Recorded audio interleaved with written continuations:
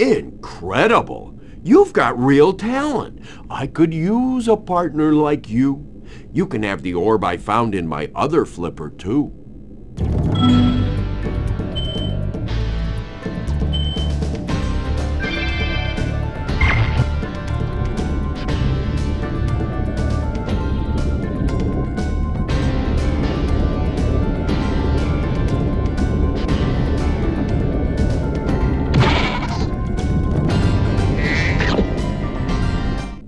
The water workers have kidnapped six of my children and hidden them in the tops of these numbered towers. I borrowed some explosives to blast the doors off the towers.